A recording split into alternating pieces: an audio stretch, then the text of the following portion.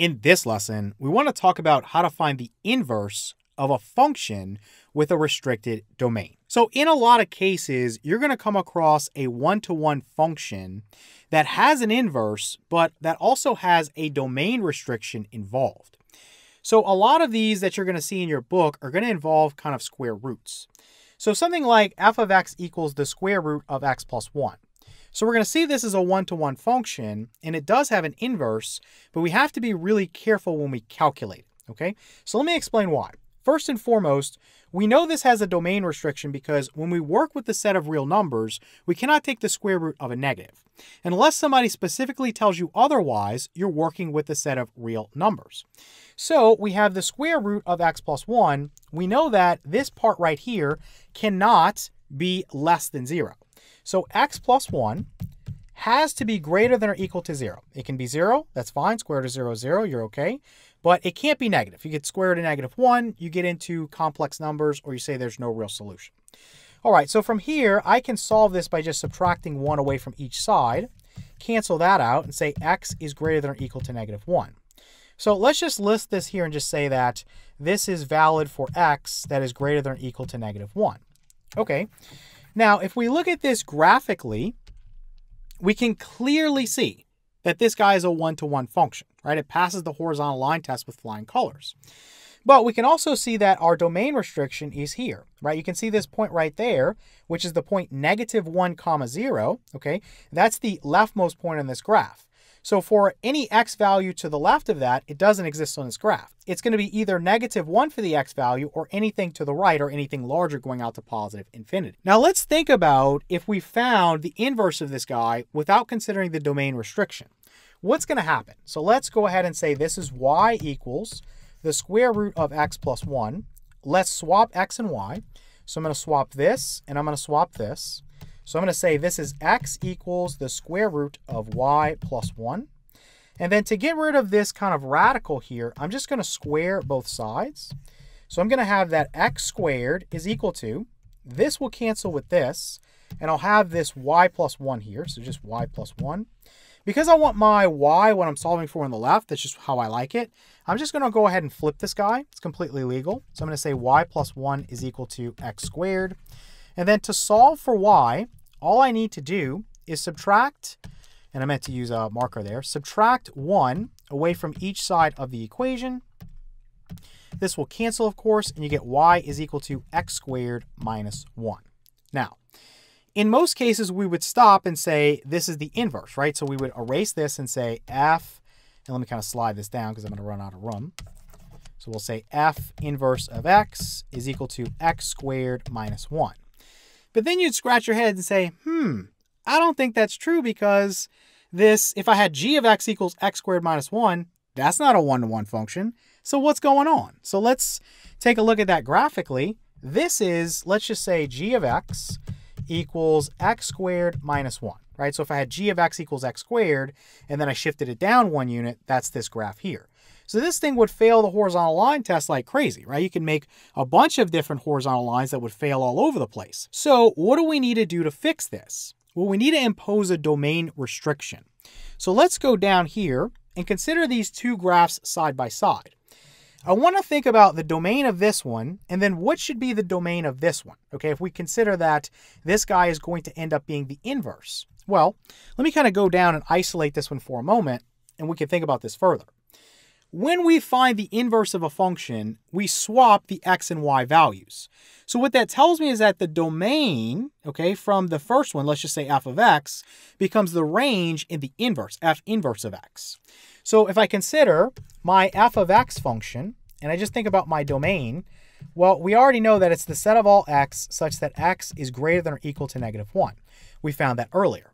But what about my range? We can look at the graph and see this, or you can go back and play around with the equation, but you can easily see from the graph that the lowest point is again here, which is at negative 1 comma 0. Every other point on that graph is going up, and it's going to go out to positive infinity. So the range, we could say, is the set of all y. Let me make that a little better.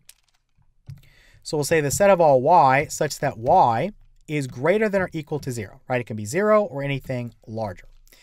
Now, because the x and the y's get swapped when we think about the inverse, So let me do this in a different color. If I do f inverse of x, well, now what's going to happen is the domain takes on the range. So it would be the set of all x such that x is greater than or equal to 0. And the range would take on the domain. So it would be the set of all y such that y is greater than or equal to negative 1. And if we want to see this graphically, I've already plotted the function f of x, which is in blue. So this is f of x. And I've plotted the inverse, which is this guy in, I guess that's orange. I'm not really sure. So f inverse of x is right there. And you can see that we've kind of cut the left side of the parabola off. We got rid of it completely. We only considered x values that were greater than or equal to 0. So this is kind of the start of this thing when you consider the x values. It's the x value of 0, and then it continues out to positive infinity. And a couple of things you can notice about the graph and its inverse. The first thing is, if you graph the line y equals x, which is this guy in red, maybe pink, not sure. So let's say y equals x, but it's this line right here.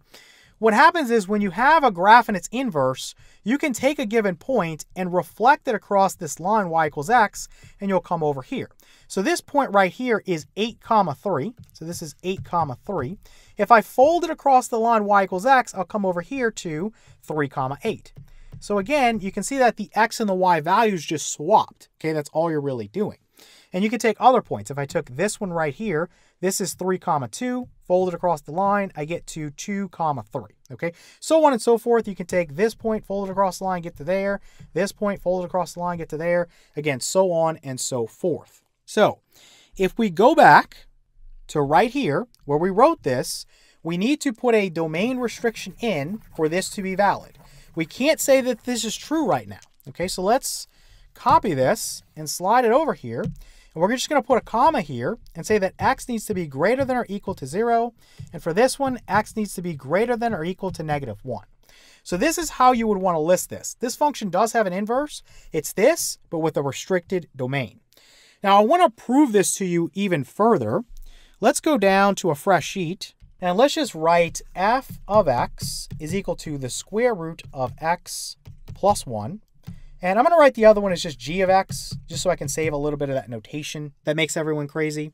So I'm going to say this is x squared minus 1, okay?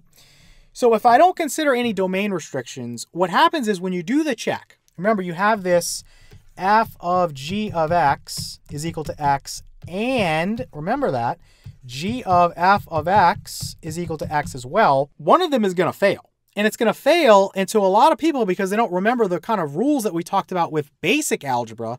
They're going to think it didn't fail. So let me show you this real quick so that you understand what's going on. So let's say I try f of g of x. So f of g of x, so I would take this function here, f of g of x, and I would plug in right there, I'm plugging this in. Okay, so I would take square root of, this is going to be x squared minus 1 and then plus 1. Okay, so so far everything looks fine and dandy. I know that minus 1 plus 1, that's going to go away. So I have square root of x squared. And a lot of people at this point go, oh, that worked. So this cancels with this and it equals x. It doesn't though. So if you remember back, let me kind of erase this, from kind of the basic stuff we did at the very beginning of the course, we know that the square root of x squared is equal to the absolute value of x. To prove this real quick, let me scroll down, I'll come back up. Let's say I took the square root of something like negative 4 squared. Okay, I have a negative 4. So this is not going to be equal to negative 4, it's going to be equal to positive 4. Why? Because negative 4 squared is done first. So negative 4 squared, that quantity is 16. So let me just erase this and say, now you have the square root of 16, which equals positive 4. So this became positive. So you have to be careful about this, okay? So it would only be true, let me kind of erase this real quick. It would only be true that if x was greater than 0 or equal to 0, that the square root of x squared would be equal to x. Because the absolute value of x is equal to x if x is greater than or equal to 0. And then the absolute value of x is equal to the negative of x if x is less than 0, okay? But because we put a domain restriction in here, we can throw this case out, And we could say that, okay, the absolute value of x just equals x because we have x restricted to be greater than or equal to 0. So then we can say that this is actually equal to x because we're following this domain restriction. So that's how we make this work out. Again, if you're not paying attention and you forget that the square root of x squared is equal to the absolute value of x, you'll mistakenly just cross those out and say this is x, it works out. What's this guy talking about? Okay, so you have to be very, very careful about this. So we're going to come back up here and we're going to make sure that when we list this, we again let me kind of slide this down, put our domain restriction in and say x needs to be greater than or equal to zero for this to be true. Okay, it's true only when that happens. Now, if we erase this and do the other one, there's no issue, no problem. So we're going to say g of f of x is going to be equal to, so instead of x squared, remember I'm plugging this in for x, so I'm going to have the square root of x plus 1 this quantity would be squared and then minus 1. No issues here. You can go through and just cancel this away and say this is what? It's x plus 1 minus 1, which equals x, okay? So that's why it's very important to check both of these, okay? That's why we told you that earlier where a lot of people just want to check one and be done. If you get something like this and you just kind of fly through it and you're not paying attention, you're going to get the wrong answer. And especially on something like the SATs or the ACTs, they know these are common things that you'll make a mistake on and they're good trap questions.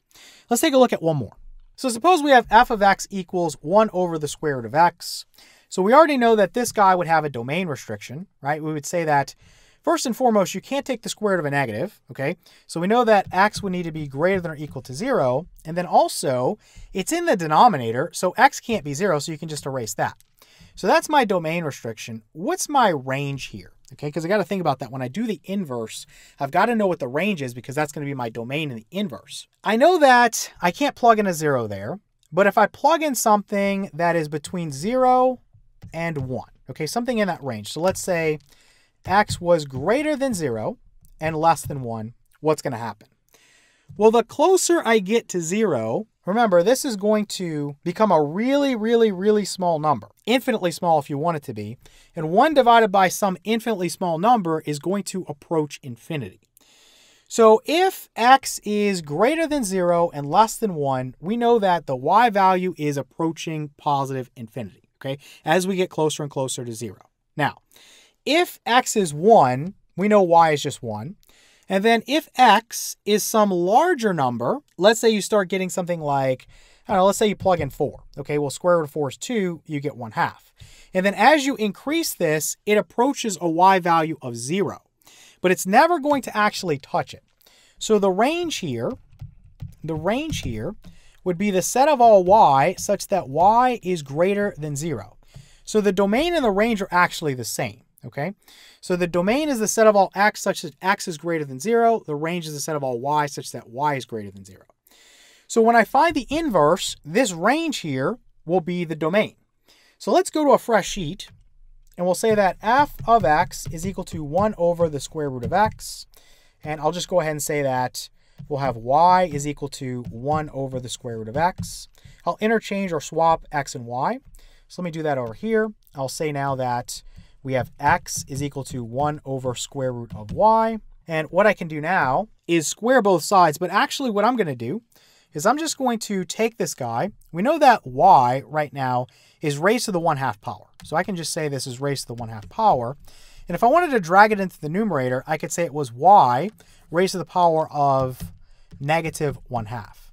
Well, how could I cancel that? Well, I could raise both sides to the power of negative 2.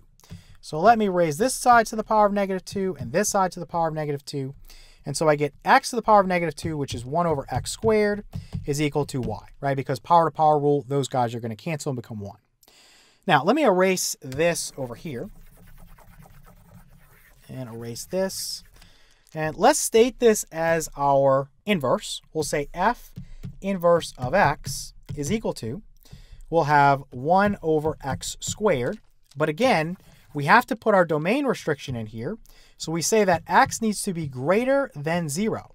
And again, my f of x is equal to 1 over the square root of x. And we'll say again for the domain here, x is also greater than zero. Now I'll leave it up to you to prove this. You can go back and do the f of g of x, or in this case, because we have this notation, you can say f of f inverse of x is x, and then f inverse of f of x is also x.